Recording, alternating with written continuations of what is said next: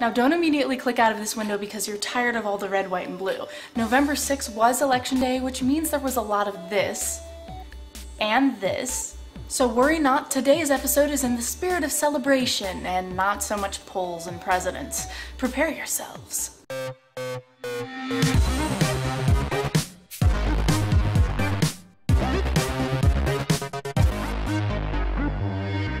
Brought to you by Audible.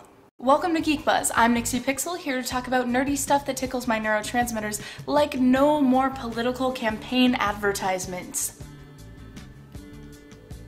But would you brave the voting booths at midnight in the cold, with 46 million units sold and people lining up at all the 10,000 locations open in the wee hours? It would seem that Obama and Romney actually had steep competition with Halo 4. This just proves that gaming is so important in our country, which is why I'm so excited to finally announce that the Linux version of Steam has entered a limited beta. Yay, we don't have to suspend belief anymore, it's actually happening. I'm in on the Linux Steam beta and you can be too. All you have to do is hit the link in the below bar, I'm gonna post it there, and apply to also be part of the beta testing goodness. So high five Valve.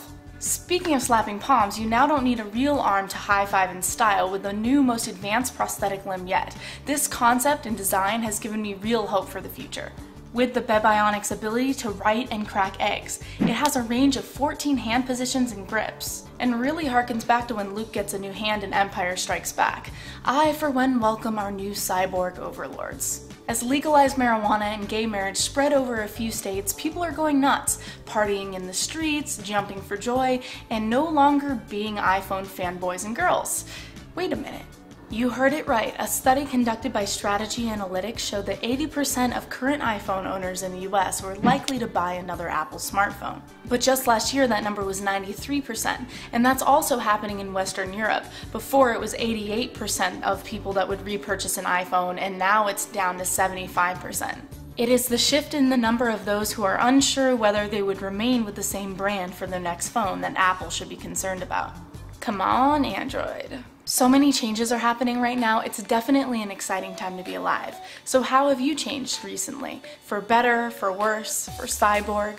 Let me know in a comment below, and until next time, thanks for watching. Be sure to give that llama some love and subscribe. I will talk nerdy to you later. Right, BT? Yes. Now it's time to pay my bills. I actually much prefer to have my addiction to sci-fi sated by sound waves. Really though, what passes the time better than listening to the unabridged version of The Hitchhiker's Guide while you're stuck in traffic?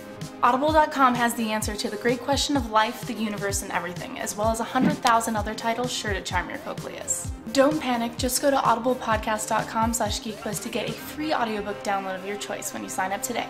What's not to love?